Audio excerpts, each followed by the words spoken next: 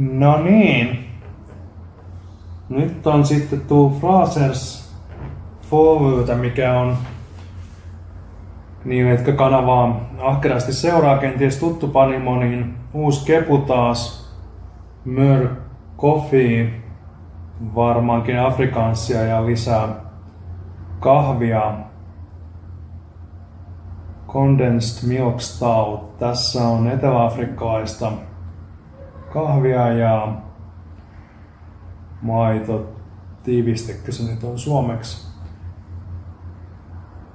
Tää sanotaan, että tämä Panimo tekee pieniä määriä kepuja, joilla on varteenotettava persoonallisuus.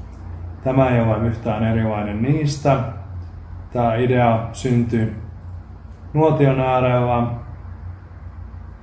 ja siitä tuli rohkea stautti, käytetty pelkästään parhaita brittiläisiä maltaita, paikallisesti kasvatettua ja pahdettua kahvia ja tähän on saatu mukaan Afrikan ainutlaatuinen henki.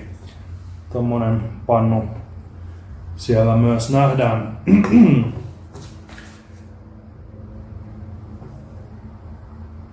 Tätä väriä kuvataan ruskean mustaksi ja hieman tommonen aurinkoauttaneen tyyppinen vaahto, mutta se ei nyt ehkä tässä näy, jos tätä höyskytän, ei. Ehkä siitä se vaahto just näkyy. On se hieman tämmönen värikkäämpi.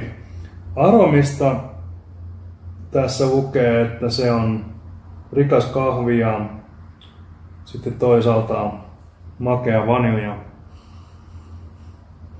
Vähän pannukahvi. Vaniljasta ei tietoa.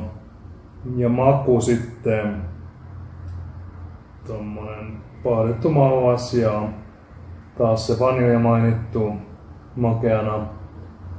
Ja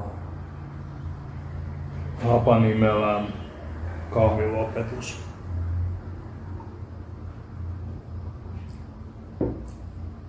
Tämmönen vähän kahvi ja kokiksen väliltä oikeastaan, mutta tämmönen kuitenkin virvottavampi. Ehkä johtuu siitä, kun se ei ole kuumaa niin kahvi, vaan, vaan tota, kylmä juoma. Ja kyllä se mallaskin siellä sitten maistuu. Ja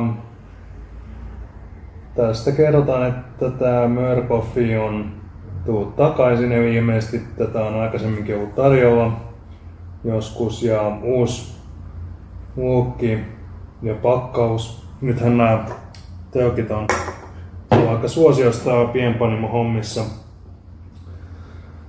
Ähm, ja siinä on varten otettava makupamaus. Ja sitten tämä erotetaan myös, että sitä voisi joko juoda sellaisenaan tai kaataa kulhoon, missä on jäätelää. Nyt ei ole jäätelää. Mielenkiintoinen ajatus. Tämmöinen vähän virvoke juoma henkinen, olisiko hiilihapoista johtuva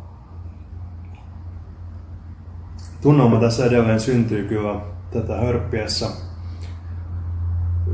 Oikein hyvä on tämäkin taas 4 kautta 5